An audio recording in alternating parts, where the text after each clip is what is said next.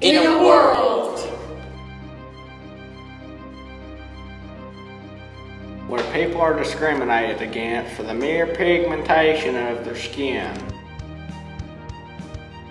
Where the cries of the oppressed are forced silent and regarded as meaningless. Where prejudice constructs barriers that separate two groups of the same family. One case will change it all. Group 6 Productions presents Brown versus the Board of Education.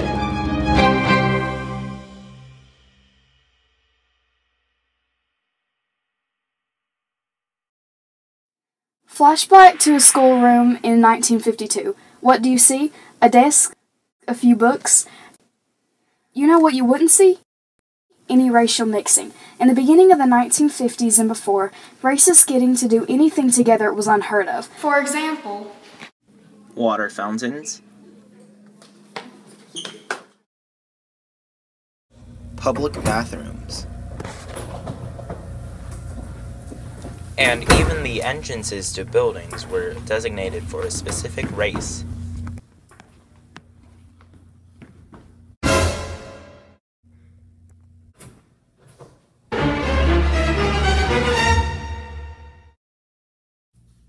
This constant enforcement of separation made it impossible for the races to ever reach harmony.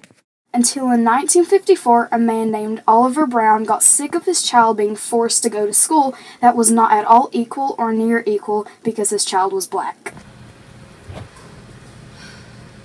Linda, dear, are you okay? Dad, do we have to go to school? I mean, some of the other kids in my grade don't.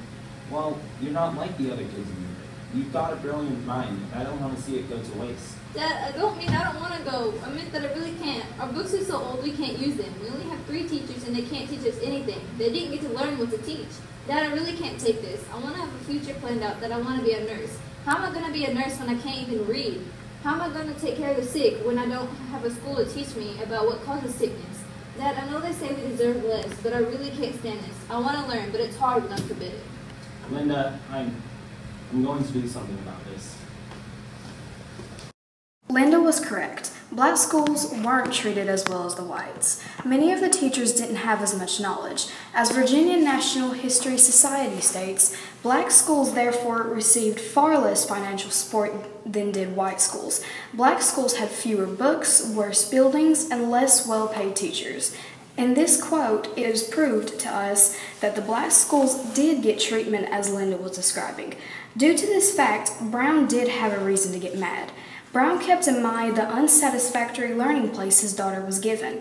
He let it set for a few days. He knew he couldn't do any talking to change anything. One day, he had finally had enough. Brown then let his feelings out and had made a decision to sue.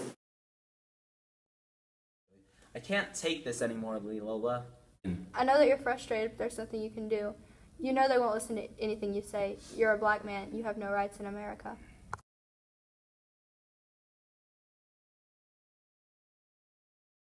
Sir, I would like to sue the Board of Education for this injustice. You are denying my constitutional rights, and I will not stand for it. Oh, Brown, hush up now, will you? You know as well as I do that the rule states separate, separate but equal. But that's what I'm saying. They're separate, and they're not equal. Things were looking bleak for Oliver's situation. With a steadfast judge prohibiting him from moving any further, he was stuck. Thankfully, the judge died.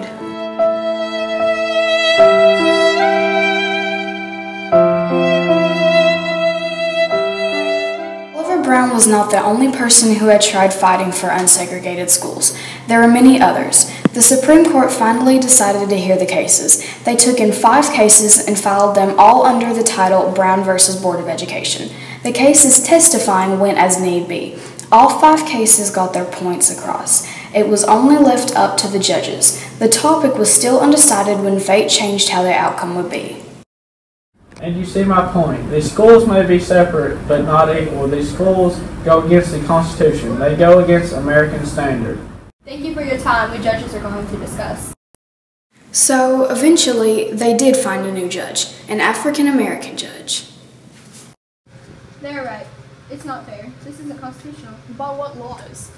They're fine as they should be. Blacks deserve less notice. They're black, for heaven's sake. What do you mean, deserve less? You, sir, are what my people call scum. It's like if you tried to make a pie. You had a whole bag of flour and a little bit. Which pie's going to be worse? Of course, the one with no flour. I can't help that you're too idiotic to see that the second pie is so unprivileged. George, why can't you see that you're wrong? This case isn't about skin color anymore. We can't call this law we know is unconstitutional just and, ju- and do our job. We took oath for this job.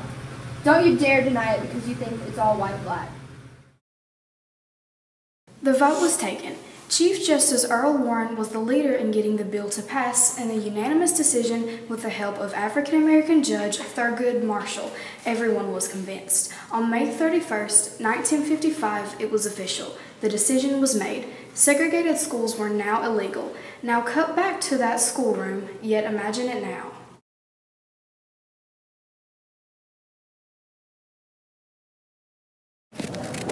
This case, as well as the several that followed it, show the world that sometimes not everything is black and white. In today's class, you have people working and being together no matter of skin color. This is a great thing.